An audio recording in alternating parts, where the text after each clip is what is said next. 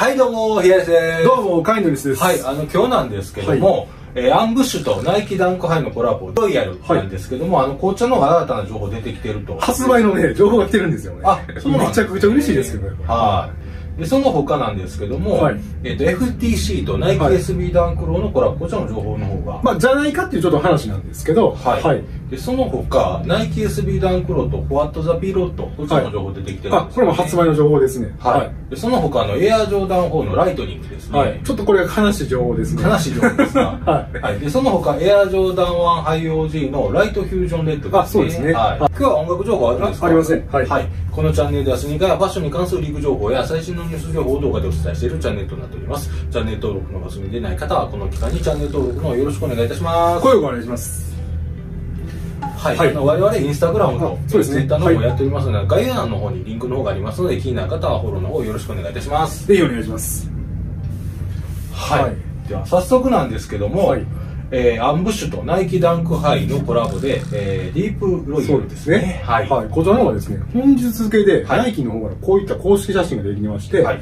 以前からね、お話ししてるんですけど、ん。えーナイキからこういった公式写真が出てくる時っていうのは、うん発売が割と近いんじゃないかっていう話なんですけど、はい。それと以前からアンブッシュとナイキダンクハイのコラボのディープロイヤルに関しては5月中旬頃に発売されるんじゃないかっていうリークと、はい。それ以降に出てきたリークで言うと5月18日に発売するんじゃないかっていうリークを一箇所だけ言ってたっていうことを、はい。以前古い動画でお話ししてると思うんですけど、ね。はい。どうもね5月の18日みたいなんですよね。あそうなんはい。ですか、で、えっ、と、発売の情報が来てるんですけど、その前に、えっ、と、アンブッシュのオフィシャルのね、SNS の方で、こういった形で、えっ、と、今後アンブッシュのサイトで発売するので、えっ、と、メーリングリストといいますか、メールをね、登録してもらうと、えっ、と、抽選情報の方を、えっ、と、この後送るみたいな感じのことが書いてあったんで、一応ね、僕はいメールの方は登録してるんですけど、うん。まだアンブッシュの方からそういった抽選のね、情報が来てないんですよね。なるほど、はい。で、別にこれスニーカーズの発売がね、今来てるっていうわけじゃないんですけど、うん。なぜ5月の18日かと言いますと、うん。ちょっと見てもらいたいんですけど、あのイギリスのエンドの方で、はい。こういったもう抽選が来てまして、発売日がね、5月の18日になってるんですよね。なるほど、はい。なんで、僕らがリークで言ってた5月18日の発売にはどうも間違いないみたいで、まあ、ナイキの方の公式写真も出てきてますので、はい。はい。まあ、スニーカーズのね、発売の情報とか更新されてるわけじゃないんですけど、うん。エンドの方でこういった発売が来てまして、もうすでにもう抽選が始まってるので、あそうなんですこの動画作成した後にちょっと申し込もうかなと思ってるんですけど値段の方がね2万1000円ぐらいでしたね日本円で、はい。楽しみですよね、はい、残り数日あるのでちょっとこの後申し込もうかなと思ってるんですけど、はい。あとこれプラスですね、えっとインスタグラムの方でアンブッシュのデザイナーのユンさんがですね言ってたんですけど、えっと今回このアンブッシュとナイキダンクハイのディープロイヤルに関して一部偽物が回ってると。言ってますよね。フェイク品が。はい。はい。で、えっ、と、本物の方は、このタンタグの部分、ブルーになってるので、偽物の方はね、ホワイトで一部出回ってるらしいんで、それを買わないようにっていうようなまあ注意みたいなのが出てたんですけど、ただ、やっぱりそのね、えーフェイク作る業者の方も、すぐに慌てて多分ブルーの方を使い回すと思うのでね、またこれに関してはいたちごっこだと思うんですけど、今ホワイトの、えーバージョンのモデルで、フェイクが出回ってるので、はい。あの買わないようにっていう投稿されてましたけど。はい。はい。まあ、僕らがね、あと、えっ、と、情報を更新になるのが楽しみなのは、まあ、日本のスニーカーズのね、うん。発売の情報がどうなるのかなっていう感じなんですけど、そうですね。はい。アメリカのね、スニーカーズの方の情報を見たんですけど、まだ5月の18日に、このアンブッシュとナイキダンクハイのコラボの情報が来てなかったんですけど、で日本のスニーカーズもまだ来てないので、N の方で5月の18日に来ているので、はい今後おそらく、まあ、えナイキの方からこういった公式写真出てきてるので、はい。まあ、スニーカーズも更新されるかなと思うんですけど、はい。楽しみですよね。そうですね。5月に発売されるカレン前半戦っていうのをさせてもらってるんですけど、まあ、後半戦をつくときに、まあ、おそらくこれが一発目の、まあ、なんですかね、5月18日の情報で、これ取り扱うと思うので、はい。はい。まだ日本での発売の情報が分かれば、そうですね。はい。こちらご紹介したいなと思うんですけど、はい、で続いて FTC さんと、えーナイキ SB ダンクローのコラボですはい。以前ですね、こういった形で FTC さんと、えーと、ナイキ SB ダンクのコラボで、はい。まあ、ホワイトに基調にしてるモデルで、まあ、水色のね、まあ、カラーウェイのタイプで、ちょっとまあ、キルティングと言いますか、まあ、ダイヤモンド柄と言いますか、うん。こういったナイキ SB ダンクが発売するんじゃないかっていう話があったんですけど、はい。で今年発売されるって話が来てたんですけど、一部の持ってる方がですね、今日本本日言ってたんですけど、はい。インスタグラムで、これ今年もしかしたらキャンセルになるかもしれないって一応出てたんですよね。ああそうなん今年に関してはって書いてましたね。ああ延長とい。うことですかね。はい今年発売されるかどうかっていうのはちょっとわかんないみたいなことをはい。書いてたんですけど、別にその方だけが言ってて、他のね、海外のスニーカー系サイトの情報をずっと見てたんですけど、はい。そういった情報はまだ上がってきてないんで、うん。まあどうなるかわかんないんですけど、まだそういった情報も来てましたね。はい。はい。まあ無事ね、今年発売されたらいいと思うんですけど、そうですあの実物のところも結構出てきてるので、はははい、まだこの辺情報が分かれば。はあちょっと面白いのは、これね、シューターの裏のところにね、湯って書いてるんですよね。湯って何湯って書いてるこれ銭湯の、銭湯のイメージなんですかね。はい。はいってなってくると、はいこのあのね、白い部分、なんかタイルにあーなるほどねねはいはい。富士の絵が入ってたりとかするような。はい。はいはい。あ、なるほどね。あ、そうなんですかね、これ。うんはい。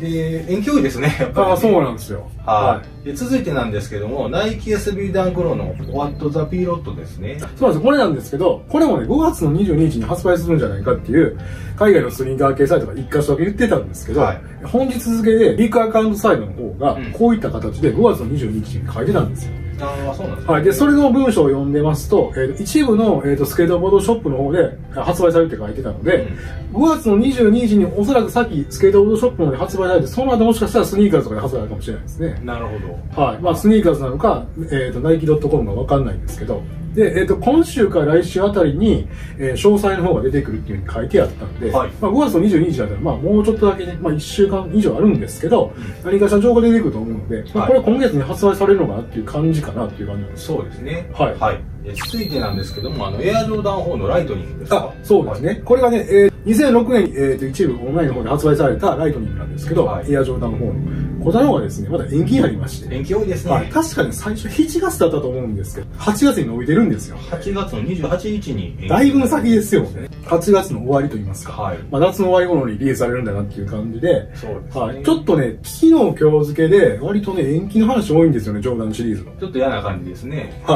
い。まあ、アメリカでのね、リリースの話になるので、日本がどうなるかちょっとわかんないんですけど、はいまあ、こういった形で来てましたね。はい。はい。で続いてなんですけども、あの、はいエアジョーダン1ハイ OG のライトフュージョンレッドですね。あそうですね、はいこれがね、えっ、と、6月3日にエアジョーダンハイ OG のウィメンズで、うんコートパープルが発売されるんですけど、その次に発売されるエアジョーダンハイ OG って、まあ、これに当たるわけですよ、ね。はい。あで、こちらの方はね、もう以前から、えっ、と、ジョーダンブランドの方から、春夏の商品の一環紹介されたりはしてるんですけど、はいまあ、持ってる方のところでこういったものができてまして、うんまあ、シューレースブラックであったりとか、レッドであったりとか、付属してる写真を投稿してくれてるんですけど、ははい、僕これと、ジョーダンブランドの方から出てきたオフィシャルの写真に比べると、実物の方がね、ちょっと明るく見えるんですよね。うんまあ、なんですかね、トーンが濃いと言いますか。はい。ははい。で、以前にも話したと思うんですけど、履き口がブラックであったりとか、アウトソールの方がブラックなんで、はいまあ僕は普段ブラックパンツが多いので、うんまあ合わしやすいかなってちょっと思うんですけどね。い。まあ、こんなに明るい色もいいですけどね。派手な一足なんですけど、うん。僕はこれはこれでありだなと思ってるんで、はい。まあ発売されたらちょっと同じチャイにしようかなと思ってるそうんですけど、ですけど、僕も欲しいですね。はい。このあたりまた情報のが出てきましたら、こちらで紹介していきたいなと思いますので、気になる方はチャンネル登録のよろしくお願いいたします。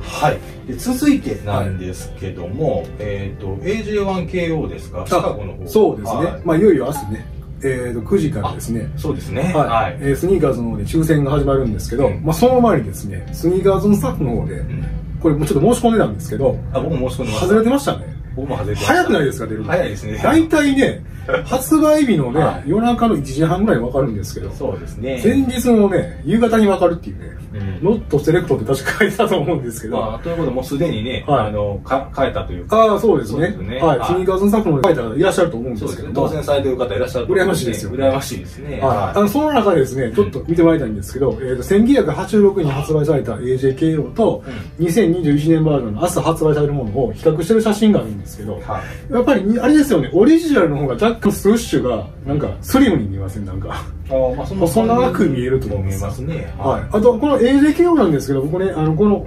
86年のモデルのように、んちょっとまあまあ、これだけ時間経ってるので、色もちょっと変わってるんですけど、これぐらいの感じの方がかっこいいなと思ってるので、はもし変えたらガンガン生えて、汚したいなと思ってるんですよね。ああいいですねはい。古着っぽいと言いますか。うんはい。このサイドパネルのホワイトの部分も、まあちょっとね、色が変色するじゃないですけど、まあシンプそれ、はい。それぐらいの方がね、かっこいいなとちょっと思ってるので、うんもし変えたらちょっとガンガン履きたいなと思ってるんですけど、なるほど。はい。まあそんなね、えっ、と、AJKO なんですけど、えっ、と、5月の12日の朝9時からね、はい僕らオンラインチャレンジしますので、うんはい。僕に関しては、えっ、と、ナイキダンクローのフリップザオールドスクールの方を、はいえっ、と、オンラインチャレンジしようと思ってるので、はいまあ書いたらいいなと思ってるんですけどね、はい。今日は音楽情報。あ、ありますね。かはい。えっと、アメリカの、まあ、DJ でもあり、音楽プロデューサーでもあり、トラックメーカーでもある、スクリレックスっていう、まあ、アーティストがいるんですけど、はい。彼が久しぶりにね、ちょっとシングルの方を出しまして、ん。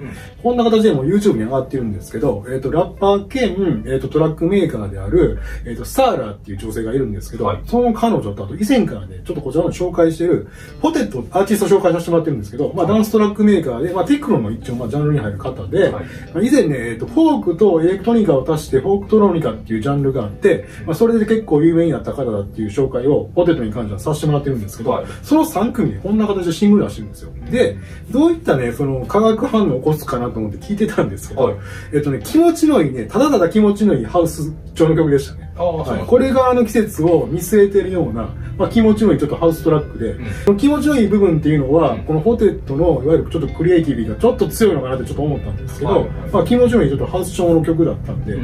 まあ、ぜひともちょっと聴いてもらいたいと思いまして、はい。また YouTube であったりとかストリーミング URL の方を、はい。えー概要欄に貼っときますので、はい。また聴いてもらいたいと思うんですけど本当に気持ちのいい曲だったんで、はい。はい、明日いよいよあの AJ1KO の発売ということで僕らもね朝からはいオンラインチャレンジの方ね、明日はちょっともうコーラ買いに行くのやめとくかなああそれはちょっとね、はい買いに行くんだったら10時にしてくださいはい。もうだいぶストックあるんで大丈夫 なるほどはい。はい飲みながら抽選したいなとはい思いますね。はい。またあの、明日ね、はい僕が実際に書いてるかどうか結果の方が気になる方はチャンネル登録の方よろしくお願いいたします。声をお願いしますはい。それでは本日は以上となります。ヒアレスでした。カイノリでしたさよなら。